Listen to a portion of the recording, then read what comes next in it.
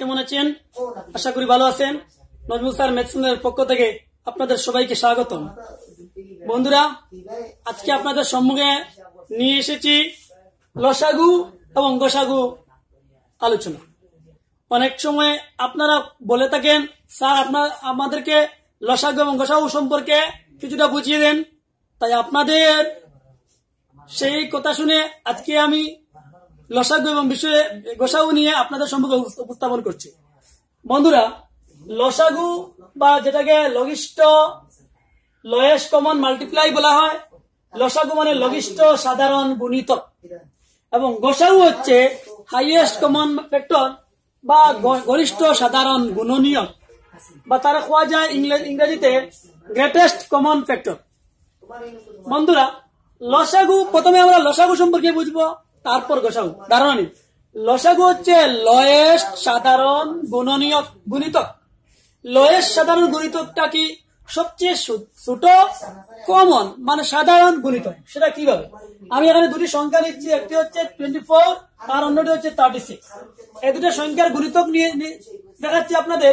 চব্বিশের গুণিতক, সে নিচে চব্বিশ চব্বিশ দুগুণে আটচল্লিশ তিন চব্বিশে বাহাত্তর চার চব্বিশে ছিয়ানব্বই, এভাবে গুণিতক আরও লিখতে পারবেন গুণিতকগুলো ঠিক সেভাবে ছয়ত্রিশের গুণিতক চৌত্রিশ চৌত্রিশ দুগুণে বাহাত্তর তিন চব্বিশে তিন চৌত্রিশে একশো আট, এভাবে আমি আরও কতটি নিয়েছি আপনারা আরও নিতে পারেন। অসীম গুণিতক রয়েছে। চব্বিশের গুণিতক বলুন চৌত্রিশের গুণিতক বলুন, যে কোনো সংখ্যার গুণিতক গুণিতক হচ্ছে অসীম। এবারে এই গুণিতকের মধ্যে কমন কতটি লয়েস্ট মানে সবচেয়ে ছোট কমন মাল্টিপ্লাই আমরা প্রথমে কমন মাল্টিপ্লাই নেব। লয়েস্ট চিন্তা পরে করব। কমন মাল্টিপ্লাই মানে সাধারণ গুণিতকগুলা খুঁজবো। সাধারণ। দুইটার মধ্যেই আছে। এমন গুলাকে বলা হয় সাধারণ। দুইটার মধ্যে আছে এমনগুলা হচ্ছে সাধারণ। কোথায় আছে? দেখুন। আমরা খুঁজাবো। খুঁজে দেখব কোথায় আছে? দেখতে পাচ্ছি সেভেন্টি টু যেটা, সেটা আছে সাধারণ। আর কি আছে? তারপর আপনারা দেখতে পারেন, একশো চৌচল্লিশ, সেটাও হচ্ছে সাধারণ। মিল আছে। তারপরে মিল কি আছে? আপনারা দেখতে পারেন।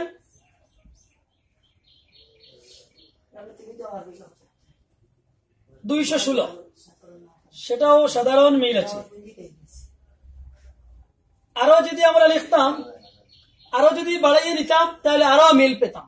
তাহলে চৌত্রিশ এবং চব্বিশ, এই দুটি সংখ্যার মধ্যে সাধারণ মিল, অর্থাৎ কমন মাল্টিপ্লাই যেগুলো বলা হচ্ছে, সেগুলো কোনগুলো হচ্ছে সাধারণ গুণিতক কোনগুলো? সেভেন্টি টু একশো চৌচল্লিশ, দুইশো ষোলো এবং আরও এই কমন যেগুলো হচ্ছে সেভেন্টি টু একশো চৌচল্লিশ, দুইশো ষোলো, আরও আছে। আরও যদি আমি বাড়িয়ে নিতাম, তাহলে আরও গুণিতক পেতাম।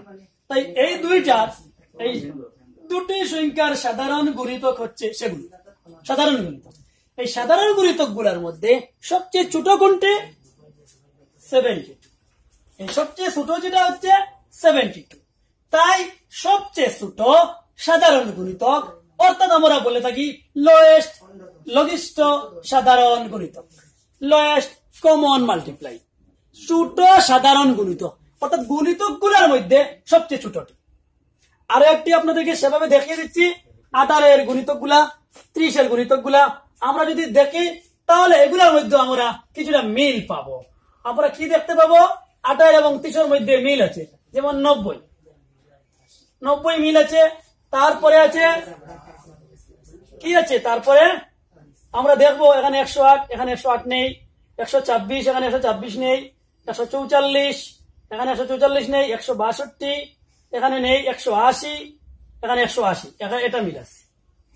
তারপরে আমরা দেখব আরও যদি সংখ্যা বাড়িয়ে দিতাম, গুণিতক আরও রয়েছে সেগুলো যদি আমরা লিখে নিতাম, তাহলে অবশ্যই আরও গুণিতক পেতাম।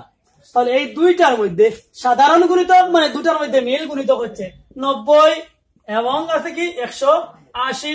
আরও যদি নিচের দিকে যেতাম, তাহলে পেতাম দুইশো সত্তর। আরও নিচে গেলে আরও বেশি পেতাম। তাহলে এই যে সাধারণ গুণিতক যেগুলো পেয়েছি, এই সাধারণ গুণিতকগুলার মধ্যে সবচেয়ে ছোট কোনটি? নব্বই। এই সবচেয়ে ছোটটি হচ্ছে নব্বই। তাহলে নব্বইটি হচ্ছে সবচেয়ে ছোট সাধারণ গুণিতক অর্থাৎ লয়ের সাধারণ গুণিতক এটা হচ্ছে সাধারণ গুণিতক অন্যদিকে আমরা উৎপাদক কি বলতে পারি? আমরা দেখুন চব্বিশের উৎপাদক। উৎপাদক সেগুলা, যেগুলা সে নিজে, যেগুলা দ্বারা এই চব্বিশকে ভাগ করলে বিভাজ্য হবে, অর্থাৎ কোন অবশিষ্ট থাকবে না, দশমিকে যাবে না, বিভাজ্য হবে। সেটা হচ্ছে তার উৎপাদক। যেমন চব্বিশের উৎপাদক এক এক দ্বারা চব্বিশকে ভাগ করা যাবে, চব্বিশের উৎপাদক দুই দুই দ্বারা চব্বিশকে ভাগ করা যাবে চব্বিশের উৎপাদক তিন তিন দ্বারা চব্বিশকে ভাগ করা যাবে। চব্বিশের উৎপাদক চার চার দ্বারা চব্বিশকে ভাগ করতে পারব, ছয় দ্বারা চব্বিশকে ভাগ করতে পারব, আট দ্বারা চব্বিশকে ভাগ করতে পারব, এভাবে সপ্তাহ দ্বারা ভাগ করতে পারব। ঠিক তদ্রুপ, এক, দুই, তিন, চার, এই যে কোনো সংখ্যা দ্বারা চৌত্রিশ পর্যন্ত যে কোনো সংখ্যা দ্বারা চৌত্রিশকে ভাগ করতে পারব। এই যেগুলো লিখে নিয়েছি, তিন দ্বারা চব্বিশকে ভাগ করতে পারব, চার দ্বারাও পারব, ছয় দ্বারাও পারব, নয় দ্বারা পারব পারব। তাই যে সংখ্যাগুলো দ্বারা চৌত্রিশকে আমরা ভাগ করব বিভাজ্য হবে, কোন অবশিষ্ট থাকবে না, সেগুলো হচ্ছে তার উৎপাদক। এবার আমরা দেখব উৎপাদকেরগুলার মধ্যে কি কি মিল রয়েছে। আমরা দেখতে পাচ্ছি ওয়ান মিল রয়েছে টু মিল রয়েছে, আর কি মিল রয়েছে? ফোর মিল রয়েছে, আর কি মিল আছে? ওয়ান টু ফোর থ্রি মিল রয়েছে, আর কি মিল রয়েছে? সিক্স মিল রয়েছে, আর কি মিল রয়েছে? টুয়েলভ মিল রয়েছে, আর কি মিল রয়েছে আর নেই। তো এইসব নিয়ে আমরা মিল পেয়েছি। অর্থাৎ কমন পেয়েছি, সাধারণ কমন দুটার মধ্যে মিল পাওয়া মানে কমন এই কমন যেগুলো পেয়েছি one two three four six twelve এই কমন যেগুলো কমন উৎপাদক, এই উৎপাদকগুলার মধ্যেই কমন উৎপাদক এই সবটা। এদের মধ্যে সবচেয়ে বড় উৎপাদক কোনটি আছে? বারো। সবচেয়ে বড় উৎপাদক হচ্ছে বারো। অর্থাৎ গরিষ্ঠ মানে বড়, সাধারণ গুণিত গুণনীয়ক বা উৎপাদক বলা যায়। গসা গু বা গোসা উও বলতে পারেন গরিষ্ঠ সাধারণ গুণনীয়ক হচ্ছে বারো। মানে সবচেয়ে বড় সাধারণ উৎপাদক বা গুণনীয়ক। সবচেয়ে বড় সাধারণ গুণনীয়ক হচ্ছে বারো। এদের মধ্যে আরও গুণনীয়ক আছে, ছোট আছে, ছয় সাধারণ গুণনীয়ক। যেটা পেয়েছি আমরা ছয়, চার, তিন, দুই। এই সবটাই সাধারণ গুণনীয়ক। কিন্তু হাইয়েস্ট কমন ফ্যাক্টর সবচেয়ে বড় সাধারণ উৎপাদক হচ্ছে বারো। তাহলে আমরা বুঝতে পারলাম, কমন উৎপাদক বলতে বুঝায় উৎপাদকগুলার মাঝে সবচেয়ে বড়টা, যেটা দেখতে সংখ্যা গুলার চেয়ে অনেকটাই ছোট থাকে। এবং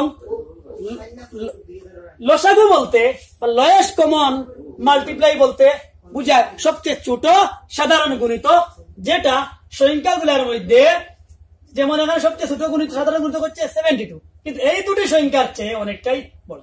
তাহলে লসাগু হচ্ছে সবচেয়ে ছোট সাধারণ গুণিত এবং গসাগু হচ্ছে উৎপাদকগুলোর মধ্যে সবচেয়ে বড় সাধারণ উৎপাদক।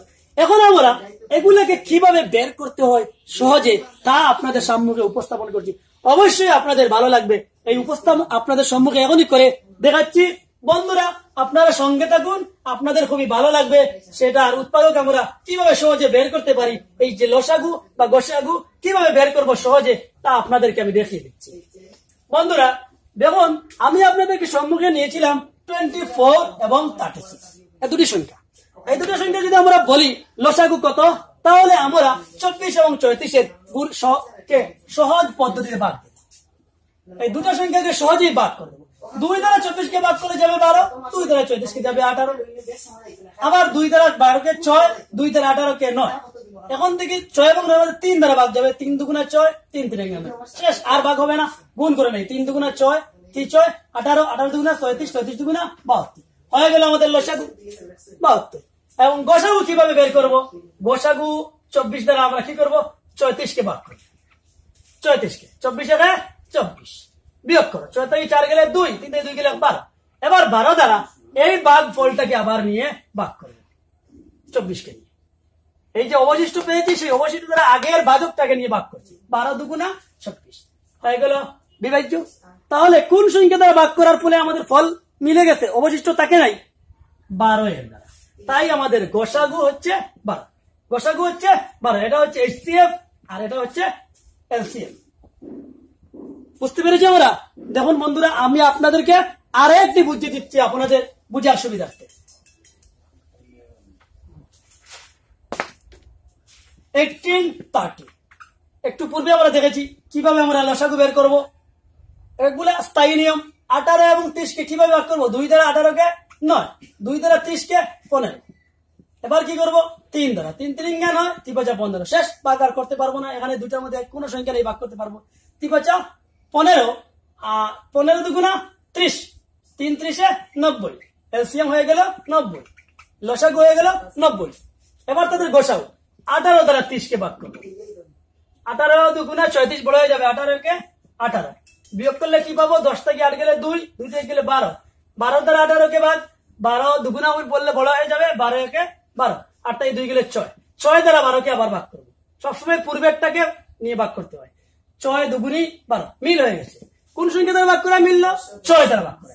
এই যে ছয় দ্বারা আমরা ভাগ করা মিলে গেছে, তাই ছয় হচ্ছে গোসাগু ছয় হচ্ছে গোসাগু এটা হচ্ছে এইচসিএফ হাইয়েস্ট কমন ফ্যাক্টর এটা গোসাগু বন্ধুরা, আশা করি আপনারা বুঝতে পেরেছেন আপনারা যদি বুঝতে পারেন, তাহলে কমেন্টে আমাদেরকে জানাবেন।